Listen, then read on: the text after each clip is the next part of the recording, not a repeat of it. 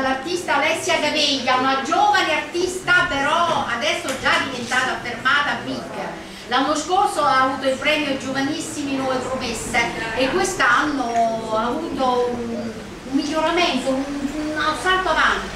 Questa ragazza analizza proprio tutte le cose con la puntigliezza, con come possiamo dire, gli americani l'hanno specificato con un nome particolare che si chiama imperialismo. Lei passa attraverso la realtà e va proprio nel corpo, nei dettagli, nel, nella spiritualità del personaggio degli animali. e degli animali, di tutto quello che ti sta intorno, lo so perché sei amante degli animali quindi sei una donna buona e quindi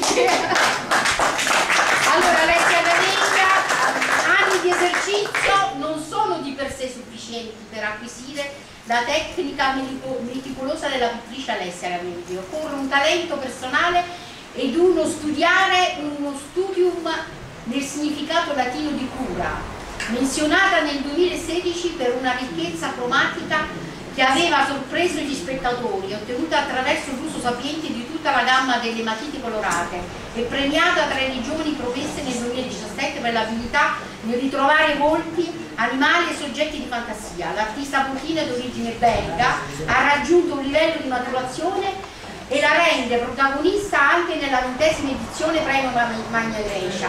La sua cifra stilistica non è più riconducibile soltanto alla dimensione paulistica delle vivide illustrazioni dell'inizio del Novecento, ma si è evoluta lungo quella direttrice della pop art statunitense denominata nel 1973 imperialism, imperialistica e infatti la straordinaria cura del dettaglio che scaturisce da una appassionata perfezione piuttosto che da una passione perfezionistica alla Beckham e che conferisce alle opere una resa grafica eccellente. In altri termini, i suoi dipinti sono tecnicamente perfetti, ma non per questo rimangono asettici e freddi, emanano al contrario un valore vitale. Inoltre, un sofisticato gioco di luce ed ombre che conferisce mh, a ciascuna opera quella specifica tipicità in fotografia definiremo scatto d'autore.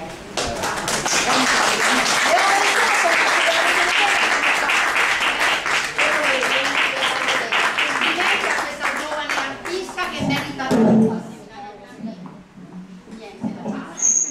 Questo microfonino ci si mette. Va bene, allora, ecco qui.